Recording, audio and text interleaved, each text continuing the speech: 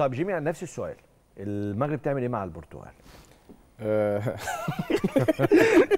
على فكرة الواقع- لو سألتك السؤال ده بالمناسبة الضحكة دي حلوة بس عشان لو سألتك السؤال دوت قبل مباراة كرواتيا كنت هتضحك نفس الضحكة بلجيكا نفس الضحكة. إسبانيا نفس الضحكة طبعا بس بس الموضوع الموضوع البرتغال هي اللي النهارده ال- رخمت علينا شوية لا غير إنها رخمت أنت أنت كمان بص على المغرب آه. آه. المغرب لعبت ثلاث ماتشات ورا بعض تقال قوي دي المشكلة مش آه آه بس أنت. أنت لعبت كل الماتشات ال- يعني أنت لعبت أربع ماتشات اللي هو المجموعات لأن حظك إن أنت اضطريت يعني المغرب ال- البرتغال ريح في الماتش الثالث قدر إن هو يريح لعيبته وي...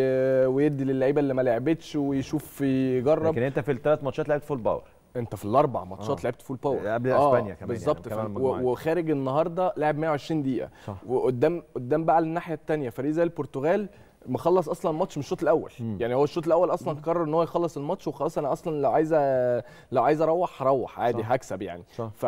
ف... فدي المشكلة. بدنيا المغرب هيبقى شكلها عامل إزاي إيه قدام البرتغال؟ لأن العنصر البدني مهم جدا في التكتيك بتاع المغرب. مم. البرتغال بدنيا فرقة واقفة على رجليها قوي.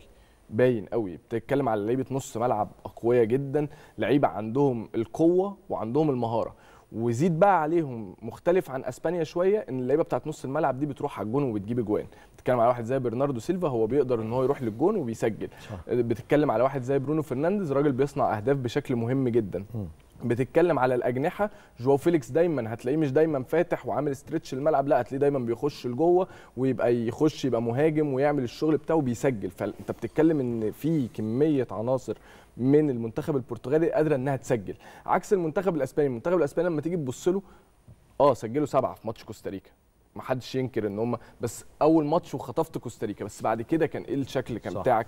واحد قدام ألمانيا واحد قدام اليابان النهارده ما عرفتش تسجل قدام المغرب.